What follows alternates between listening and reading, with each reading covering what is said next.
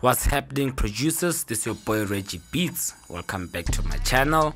I'm the IT producer and today I'm gonna show you guys how to add a beat contract or a beat license to your beat selling website using this plugin.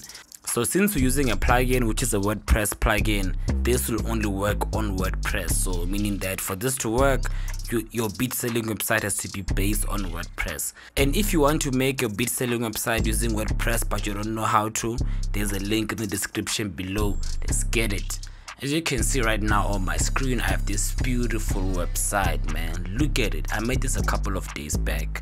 You know, so this is gonna be my new beat store. I'm currently using the BeatStars Pro page, but as you grow as a producer you want to have more control over your your products you know what i'm saying? So i want to be able to make my google ads and be able to play around with the seo so that's why i have my own custom beat selling website that i'm currently migrating to.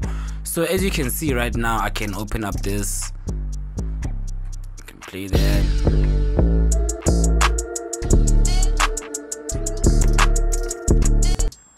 You know i can choose which license i need you know other mp3 lease or wave lease. The only thing that's missing is the contracts right now. And you need to have this set up because this is called attributes. You have to have this set up to be able to use the plugin because with the plugin you need to be able to assign mp3 lease its own contract and you need to assign wave lease its own contract.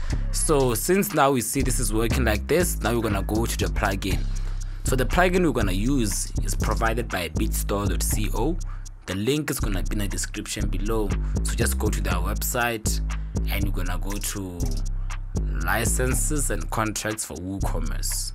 Man, shout out to BeatStore, man. They understand what we need, you know what I'm saying? They understand that as a producer, you gotta be independent you know what i'm saying? Here's like a young walkthrough of how it works but i'm also gonna show you guys now. So just select for a single site and there's a free trial and it's actually pretty affordable. Just click on buy now so you can see how much it actually is. So you only pay to nine dollars a year. Well i already have mine so just get yours. You get your seven day free trial so you're not gonna get charged immediately. If you feel like you don't like it then you can cancel it okay so once you got yours you're gonna log in and be able to download it. You'll just receive an email and they'll give you the plugin. You're gonna download it. And that email will also have an activation code. You gotta copy that and then you're gonna put it into your wordpress. So now i'm gonna go to wordpress. I'm gonna install the plugin. I'm gonna go back to my website go to my dashboard admin admin panel. Then i'm gonna go to plugins. You know plugins then I'm gonna go to add new. So now here when I say add new I need to actually install the plugin that I've downloaded from my email. But since I've already installed it I'm just gonna activate but then you just gonna go click on upload plugin choose file and go locate wherever the file is. But me on my case I'm gonna go to installed plugins like here's it bit store licenses and contracts for WooCommerce. I'm gonna click activate So once you've installed and activated, just check on the side here where it clicks where it says licenses and then you're gonna come to the screen here. You might not have anything here because you haven't created anything. I've already created my licenses but I'm gonna show you guys how to create licenses. So I'm just gonna create an additional one now so you can see how it works. So since we are here by licenses, let's go by settings just to check quickly so in the settings i think yeah don't actually need to do much. Let's go back to licenses. So now we're gonna create a license let's say for the mp3 lease so let's go create add new. So i'm gonna call this license mp3 lease standard because i already have my own mp3 lease so i must be able to know which one is which. So now you see here it says product attribute that's when i said you need to have set up your attribute and i've showed you guys how to do that step by step in my previous video. The link is in the description below. So for this one i'm gonna select the mp3 lease so it means that this mp3 lease will apply to the mp3 lease attribute which is when i'm selling the beats that's the attribute that i use. And the default price i'll just say 30 dollars and then now i like this part man. They just made everything so easy. So now we're gonna check out this section. We're gonna start here. So if it's an mp3 lease then we just want the mp3 included only. But if it's a wave lease we're gonna select wave as well. Number of distribution copies let's say 3000 for mp3 music videos you can do one. Radio stations you can do one. Non-monetized streams unlimited and non-profit performances i think it can be unlimited too audio streams let's just cap it by 50000 monetized zero because an mp3 release. Allowed for paid performances no. So these are our variables. These are called variables. So we're gonna use this to be able to add into our contract. So now it says contract template. So this is where we're gonna add our contract so remember i said i have a another beat store? Let me just go to it right now which is reggie beatz the one with the beatstars pro page. So the beatstars pro page also i have my licenses set up here. So i'm gonna go to my licenses and just copy the details so so you can have somewhere to start with. Because i'm not a music lawyer so i'm on my beatstars pro page. I'm gonna read my full license and i'm gonna copy everything here. Then i'm gonna bring it all the way this side on our contract template and i'm gonna paste it. See great. Now you're gonna see what you're gonna do. So cool. So now these values that uh, have to change you know what i'm saying? Like this the date has to change because people could people are gonna be buying these beats on different days. And the licensee which is the person who's buying the beat the name has to change as well. So here we need to put the variables instead of just hard coding these values so let me show how, how it works. So as you can see here it says this license agreement is made on and it shows the date. So we're gonna replace this date with a date variable. So we're gonna scroll down and you see here it says contract variables. Shout out to beatstore.co for doing this. So when i go to contract date we're gonna copy this. Then we're gonna come here with this contract date. We're gonna paste it here boom you see. So it says this license is made on so this variable will just take the date of the day when somebody buys the beat and it's gonna add it there. It's crazy. Okay and it says this agreement is made between licensee so licensee is the person who's buying the beat so we're gonna come here and look for customer name.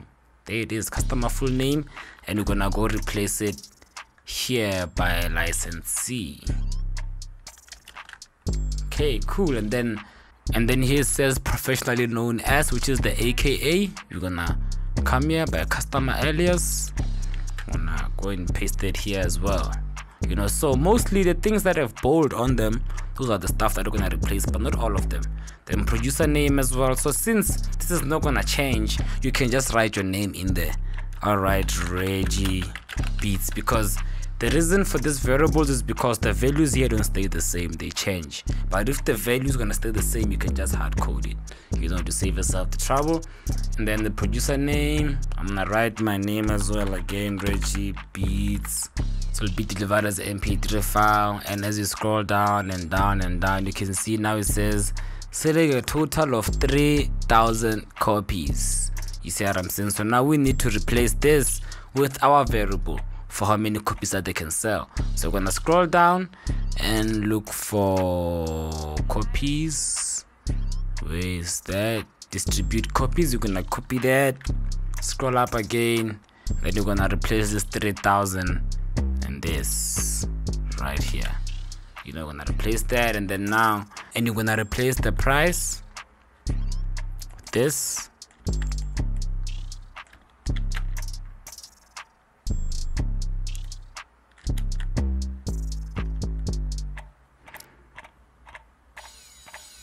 then now for the audio streams we're gonna check and replace that 10,000 with the number of audio streams. Scroll up place this 10,000 there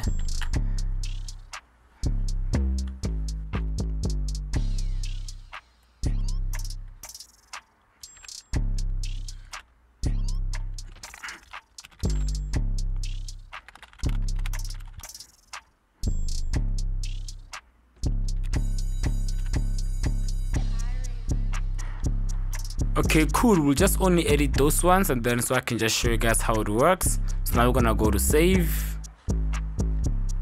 Okay cool. Now we're gonna go to licenses. Let's see if it's there. Uh mp3 release standard. There we go. So we're gonna go to the website now to my website. My new BeatStore website beatstore.reggiebeatz.com